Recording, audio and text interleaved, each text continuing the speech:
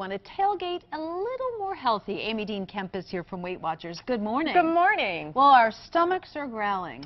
Yes, well, you know, in the fall, everything is food and football. It's so we so want to have some fun, but at the same point in time, manage our weight loss goals. All right, now So a couple said, strategies. You said you wanted to start this segment with the beer. Beer. Well, because we are going to want beer. Yeah. So, but instead of having a regular, switch it out for light. Okay. Or another option, if you don't want an alcoholic drink, is to do some fruit-infused water. Uh huh. Trick is do it the night before.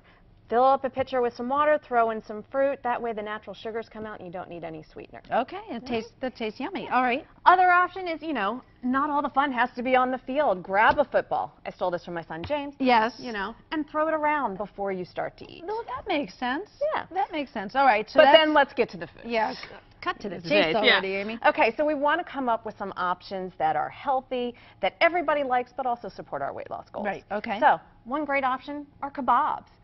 Lots of lean proteins, fruits, veggies, so easy. Just pick them up, throw them on the grill. So do you marinate the chicken in anything? You can or- marinate the chicken or just go as they are. What do you like marinating in it so that's not too um, high calorie? Um, sometimes like a teriyaki sauce or something along those lines. I'm just a taking a little bit of flavor. I'm taking a sip of your water. Please. Sorry, people. Go we ahead. often like to have sausages, you know, but Yes. instead of having the pork sausage, switch out for a turkey sausage, you know, and then layer it with shredded carrot, roasted red pepper, a little bit of mustard. Okay. A lot less fat, but delicious. Remember I said the director was concerned about that? Yes.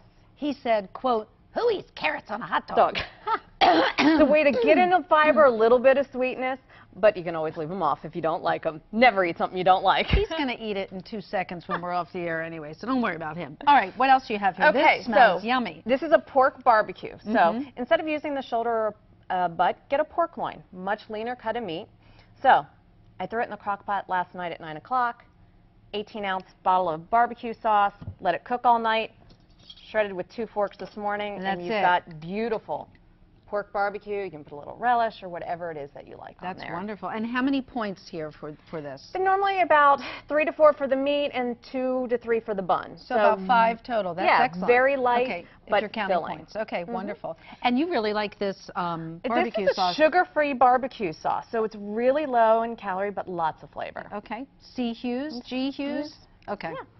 I don't have my glasses on. All right, and All right, finally, so finally, a lot of times we like those buffalo chicken wings, but we don't want to spend that many calories on it, especially after doing a workout like uh, Charles over there. Right. So we've got a buffalo chicken burger that has some of those flavors. So take barbecue sauce, a little bit of Tabasco, pound of ground beef, a little bit of the sauce, some celery, scallions, garlic, breadcrumbs, well, there you go. Mix it all together, throw it on the grill, top it with a little bit of barbecue sauce, and then some blue cheese. It looks for that pretty flavor. too, It doesn't really it? does. It looks yummy. Easy, so good in yummy. Here. And how many points for that? That's about probably six to seven. Okay. So it looks very filling, and very, yeah, very it's yummy. very thick.